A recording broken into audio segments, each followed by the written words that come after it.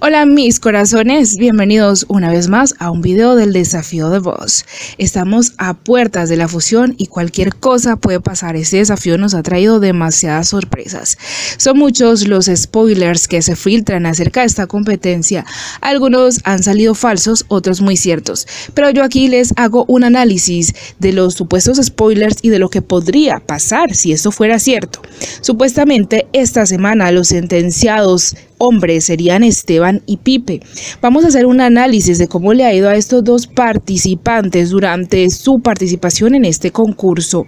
Pues Esteban ha estado en varias muertes, estuvo en la que se fue Tin, y también sacó a Monos. Esteban tiene grandes posibilidades de ganarle a Pipe, pues aunque no es tan rápido, es muy inteligente y muy ágil. Por otro lado está Pipe, que ha sido muy astuto. En una muerte tuvo que sentenciar a Juan David para no verse tan amenazado y se salvó. Y en otras muertes ha quedado como de último, antepenúltimo, no es que haya tenido un rendimiento muy bueno. Y recordemos que también él hizo bajar la bandera de Omega. O sea que no ha sido un participante muy firme y que le haya ido muy bien en todas las pruebas.